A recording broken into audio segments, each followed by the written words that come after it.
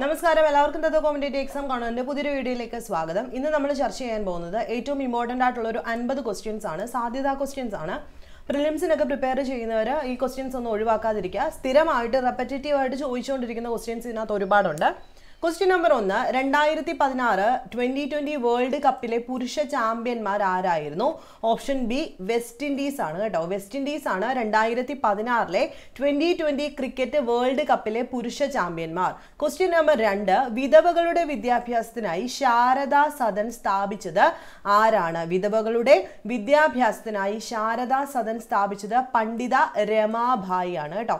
പണ്ഡിത രമാഭായി ആണ് ശാരദാ സദൻ സ്ഥാപിച്ചത് എന്തിനു വേണ്ടി വിധവകളുടെ വിദ്യാഭ്യാസത്തിനായിട്ട്? ക്വസ്റ്റ്യൻ നമ്പർ മൂന്ന്. നമ്മുടെ ജനാധിപത്യത്തിന്റെ സൂര്യ തേജസ് എന്നറിയപ്പെടുന്ന നിയമം ഏതാണ്? നമ്മുടെ സൂര്യ തേജസ് എന്നറിയപ്പെടുന്ന നിയമം ഒരു സംശയം വേണ്ട. വിവരാവകാശ നിയമം. രണ്ടായിരത്തി അഞ്ചിലെ വിവരാവകാശ നിയമമാണ് നമ്മുടെ ജനാധിപത്യത്തിന്റെ സൂര്യ തേജസ് എന്ന് അറിയപ്പെടുന്നത്. അപ്പൊ ഇപ്പൊ തന്നെ പഠിച്ചു പോവുക.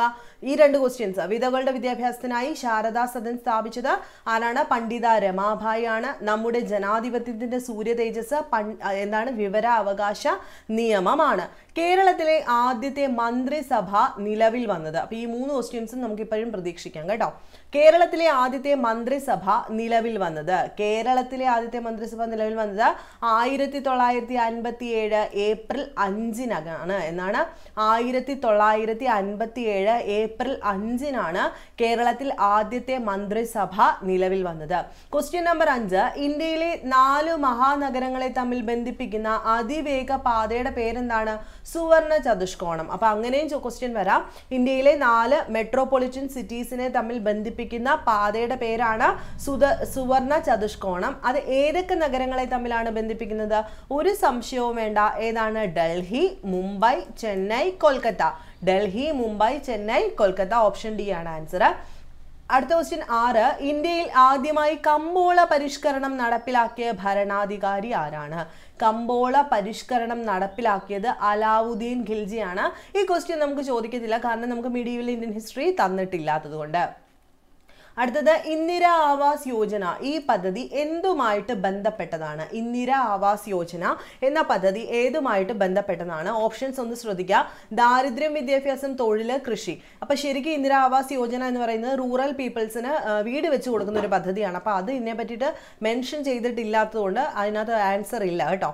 എട്ട് ഏറ്റവും വലിയ ഗ്രഹമായ വ്യാഴത്തെക്കുറിച്ച് പഠിക്കാൻ നാസ വിക്ഷേപിച്ച ഉപഗ്രഹം.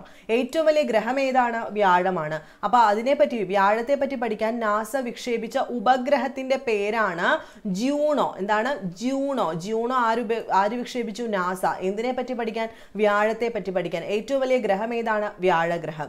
അടുത്തത് ദേശീയ വനിതാ കമ്മീഷന്റെ പ്രഥമ അധ്യക്ഷ ആരായിരുന്നു? ദേശീയ വനിതാ കമ്മീഷന്റെ ആദ്യത്തെ അധ്യക്ഷ ആരായിരുന്നു? ജയന്തി പട്നായിക് ആണ് ജയന്തി പട്നായിക് ആണ് ദേശീയ വനിതാ കമ്മീഷന്റെ ആദ്യത്തെ അധ്യക്ഷ. പത്ത് ഹിതപരിശോധനയുടെ യൂറോപ്യൻ യൂണിയൻ വിട്ട രാജ്യം ഏതാണ്? ഹിതപരിശോധനയിലൂടെ യൂറോപ്യൻ യൂണിയൻ വിട്ട രാജ്യം ഏതാണ്? ഓപ്ഷൻ ബി ബ്രിട്ടൻ ആണ് അല്ലെ? ബ്രെക്സിറ്റ് എന്ന് കേട്ടിട്ടില്ലേ? ബ്രിട്ടൻ ആണ് പതിനൊന്ന് സംസ്ഥാന പുനഃസംഘടനാ കമ്മീഷന്റെ അധ്യക്ഷൻ. ഇപ്പോഴത്തെ ക്വസ്റ്റ്യൻ അത് അതായത് ട്വന്റി ട്വന്റിയിലെ പ്രിലിംസിനും ചോദിച്ചൊരു ക്വസ്റ്റ്യൻ ആണ്. സംസ്ഥാന പുനഃസംഘടനാ കമ്മീഷന്റെ അധ്യക്ഷൻ ആരാണ്? ആ ഒരു സംശയം വേണ്ട. Fazal Ali state reorganisation commission നമ്മൾ മിനിഞ്ഞാന്ന് ചർച്ച ചെയ്ത ക്വസ്റ്റ്യൻ പേപ്പറിൽ ഇന്നലെ ചർച്ച ചെയ്ത ക്വസ്റ്റ്യൻ പേപ്പറിൽ പ്ലസ് ടു പ്രിലിംസിന്റെ ക്വസ്റ്റ്യൻ പേപ്പറിൽ എപ്പോഴും ചോദിക്കുന്ന ഒരു ക്വസ്റ്റ്യൻ ആണിത് സംസ്ഥാന പുനഃസംഘടനാ കമ്മീഷന്റെ അധ്യക്ഷനാണ് ഫസൽ അലി. അതിന്റെ കൂട്ടത്തിൽ തന്നെ സെയിം ക്വസ്റ്റ്യൻ വായിച്ചപ്പോൾ നമ്മൾ ഇന്നലെ പറഞ്ഞിട്ടുണ്ടായിരുന്നു. കൂട്ടത്തിലുള്ള അംഗങ്ങളാണ് K M Panikkar H N Kunzru. കൂട്ടത്തിലുണ്ടായിരുന്ന മലയാളിയാണ് കെ എം പണിക്കർ. ഇത് സ്ഥിരം ചോദിച്ചുകൊണ്ടേ ഇരിക്കുകയാണ് കേട്ടോ. ക്വസ്റ്റ്യൻ നമ്പർ പന്ത്രണ്ട്. ഈയിടെ ഏത് രാജ്യമാണ് ലിംഗസമത്വ നിലപാടുകളുടെ ഭാഗമായി ദേശീയ ഗാനത്തിലെ ആൺമക്കൾ എന്ന വാക്ക് മാറ്റി നമ്മൾ എന്നാക്കിയത്. ഇത് ടൂ തൗസൻഡ് സെവന്റീനിൽ വന്ന ക്വസ്റ്റ്യൻ ആണ്. അപ്പം നമുക്ക് ഇങ്ങനൊരു ക്വസ്റ്റ്യൻ ചോദിക്കാം. അപ്പം ലിംഗസമത്വത്തിന്റെ നിലപാടിന്റെ ഭാഗമായിട്ട് ദേശീയ ഗാനത്തിലെ ആൺമക്കൾ എന്നുള്ളത് മാറ്റിയിട്ട് നമ്മൾ എന്നാക്കി മാറ്റിയ രാജ്യം ഏതാണ്? കാനഡയാണ് കേട്ടോ. കാനഡയാണ്. ആയിരത്തി എണ്ണൂറ്റി അൻപത്തി ഏഴിലെ ഒന്നാം സ്വാതന്ത്ര്യ സമരകാലത്ത് ലക്നൌവിൽ കലാപം നയിച്ചത് ആരാണ്? സ്ഥിരം ക്വസ്റ്റ്യൻ ലക്നൌവിലെ ബീഗം ഹസ്രത് മഹലാണ്. ഇന്ത്യൻ സംസ്ഥാനങ്ങളിൽ ഗവർണറായി നിയമിക്കപ്പെടുന്നതിനുള്ള കുറഞ്ഞ പ്രായ പരിധി എത്രയാണ്? മുപ്പത്തി അഞ്ച് വയസ്സാണ്.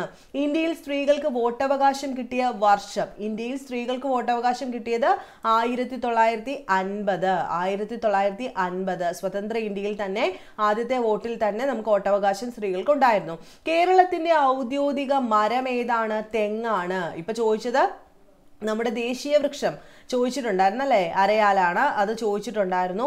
അത് ഇപ്പം ചോദിച്ചിരിക്കുന്ന ഔദ്യോഗിക മരം കേരളത്തിന്റെ തെങ്ങ്. അടുത്ത ബ്യൂട്ടിഫുൾ സിറ്റി ഓഫ് ഇന്ത്യ എന്നറിയപ്പെടുന്നത്. ബ്യൂട്ടിഫുൾ സിറ്റി ഓഫ് ഇന്ത്യ ഏതാണ്?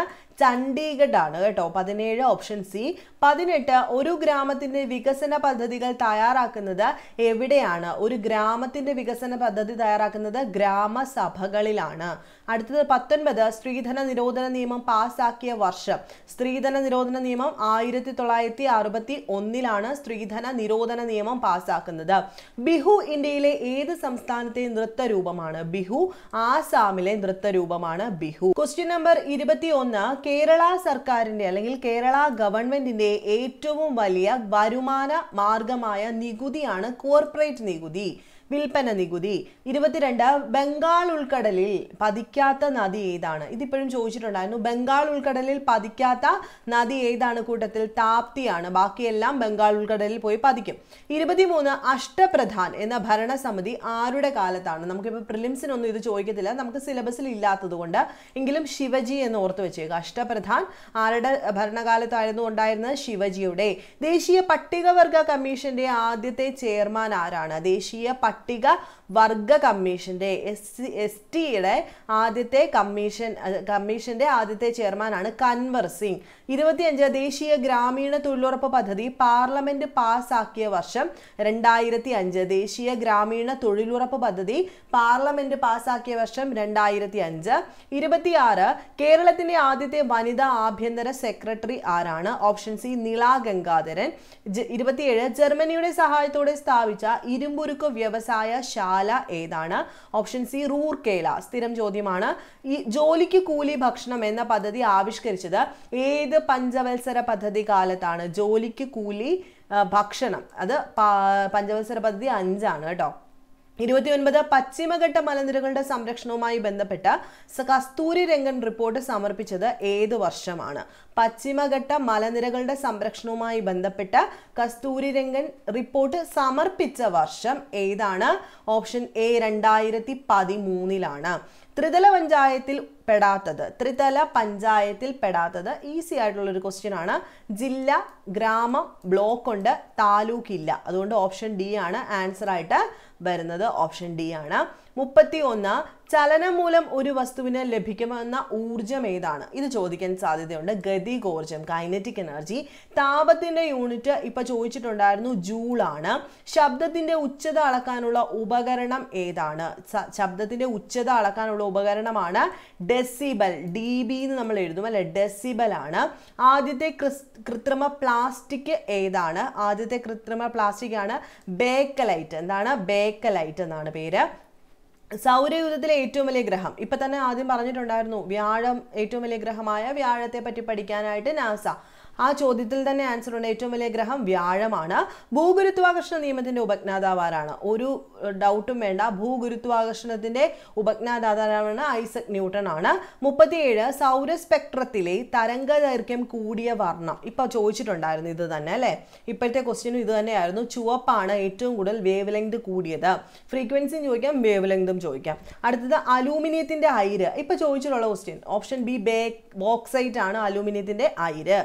അതുപോലെ ആറ്റത്തിലെ നെഗറ്റീവ് ചാർജുള്ള കണം. ഇപ്പൊ ചോദിച്ചിട്ടുണ്ട് വേറെ മാർഗത്തിൽ അല്ലേ? സെക്കൻഡ് ഫേസിൽ ചോദിച്ച ക്വസ്റ്റ്യൻസ് എല്ലാം വേറെ മാർഗത്തിൽ ചോദിച്ചിരിക്കുന്നതല്ല ഇവിടെ തന്നെ ചോദിച്ചിരിക്കുക ഇലക്ട്രോൺ ആണ് ആറ്റത്തിലെ നെഗറ്റീവ് ചാർജുള്ള കണം. നാൽപ്പത് ഭൂവൽക്കത്തിൽ ഏറ്റവും കൂടുതലായി കാണപ്പെടുന്ന മൂലകം ഏതാണ്? ഓപ്ഷൻ എ ഓക്സിജൻ ആണ് ഏറ്റവും കൂടുതലായി കാണപ്പെടുന്ന മൂലകം. അതുപോലെ നാൽപ്പത്തി ഒന്ന് ആൽഗകളെ കുറിച്ചുള്ള പഠനം ഏത് പേരിലാണ് അറിയപ്പെടുന്നത്? ഫൈക്കോളജി കേരളത്തിന്റെ ആരോഗ്യ വകുപ്പ് മന്ത്രി ഇപ്പോഴത്തെ ആരോഗ്യ വകുപ്പ് മന്ത്രി ആരാണ്? വീണ ജോർജ് ആണ്. അതാണ് നിങ്ങൾ എഴുതേണ്ടത്. നാൽപ്പത്തി മൂന്ന് ഇന്ത്യയിലെ ആദ്യത്തെ ഇക്കോ ടൂറിസം പ്രോജക്റ്റ് കേരളത്തിൽ ഉള്ളത് എവിടെയാണിത്? എക്കോ ടൂറിസ്റ്റ് പ്രോജക്റ്റ് കേരളത്തിൽ എവിടെയാണ്? തെന്മല. ആദ്യത്തെ ഇന്ത്യയിലെ ആദ്യത്തെ എക്കോ ടൂറിസം പ്രോജക്റ്റ്. അത് കേരളത്തിലെ തെന്മലയിലാണ്. അന്താരാഷ്ട്ര പയറു വർഷമായി ആചരിച്ചത് എന്നാണ് ഓപ്ഷൻ ബി രണ്ടായിരത്തി പതിനാറ്. നാൽപ്പത്തി അഞ്ച് മനുഷ്യ ശരീരത്തിൽ ഏറ്റവും കൂടുതലുള്ള കല ഏതാണ്? ഏത് ടിഷ്യൂ ആണ് മനുഷ്യ ശരീരത്തിൽ ഏറ്റവും കൂടുതലുള്ളത്? ആവരണകല ഓപ്ഷൻ സി വിറ്റാമിൻ ഡിയുടെ അപര്യാപ്തത മൂലമുണ്ടാകുന്ന രോഗം ഏതാണ്? അപ്പം ഏറ്റവും കൂടുതൽ സെക്കൻഡ് ഫേസിൽ ആവർത്തിച്ചിരുന്ന ക്വസ്റ്റ്യൻ ഇതിൽ നിന്നാണ്. റിക്കറ്റ്സ് ഇപ്പം തന്നെ നമ്മളൊരു അഞ്ചാറ് ഏഴെണ്ണം സെയിം ക്വസ്റ്റ്യന്റെ പല പാറ്റേൺ അങ്ങോട്ടും ഇങ്ങോട്ടും മാറ്റിയിട്ടുണ്ട്. അപ്പോൾ two thousand seventeen L D C question paper repeat ചെയ്തിട്ടാണ് സെക്കൻഡ് ഫേസ് വന്നിരിക്കുന്നത്. നാൽപ്പത്തി ഏഴ് കേരള ഫോറസ്റ്റ് റിസർച്ച് ഇൻസ്റ്റിറ്റ്യൂട്ട് എവിടെ സ്ഥിതി ചെയ്യുന്നു? ഓപ്ഷൻ സി പി ജി നാൽപ്പത്തി എട്ട് ടൈഫോയിഡിന് കാരണമായ രോഗകാരി ആരാണ്? ടൈഫോയിഡ് ബാക്ടീരിയ വരുത്തുന്നതാണ്. കേരളത്തിലെ വന നിയമം പ്രാബല്യത്തിൽ വന്ന വർഷം ഓപ്ഷൻ എ ആയിരത്തി തൊള്ളായിരത്തി അറുപത്തി ഒന്ന് മീനമാന്ത ദുരന്തത്തിന് കാരണമായ രാസവസ്തു ഏതാണ്? Option B methane mercury. അപ്പൊ അൻപത് ക്വസ്റ്റ്യൻ ആണ് നമ്മൾ ഇവിടെ നോക്കിയിരിക്കുന്നത്. ഈ അൻപത് ക്വസ്റ്റ്യൻ ഞാൻ പറഞ്ഞു. ഏറ്റവും കൂടുതൽ ക്വസ്റ്റ്യൻസ് സെക്കൻഡ് ഫേസിൽ വന്നിട്ടുള്ളത് ഈ ഒരു ക്വസ്റ്റ്യൻ പേപ്പറിൽ നിന്നാണ്. സോ പ്രീവിയസ് ക്വസ്റ്റ്യൻ പേപ്പർ നിങ്ങൾ വർക്കൗട്ട് ചെയ്തുകൊണ്ടേയിരിക്കുക ലാസ്റ്റ് ടൈമിലൊക്കെ പഠിക്കുന്നവർ മാക്സിമം റിവിഷൻ ചെയ്യുക. Previous question paper work out ചെയ്യുക. അപ്പോൾ നിങ്ങൾക്ക് വീഡിയോസ് ഇഷ്ടമാണെന്നുണ്ടെങ്കിൽ നിങ്ങൾ ലൈക്ക് ചെയ്യുക ഷെയർ ചെയ്യുക സബ്സ്ക്രൈബ് ചെയ്യുക. നെക്സ്റ്റ് വീഡിയോയിൽ കാണുന്നവരെ ബൈ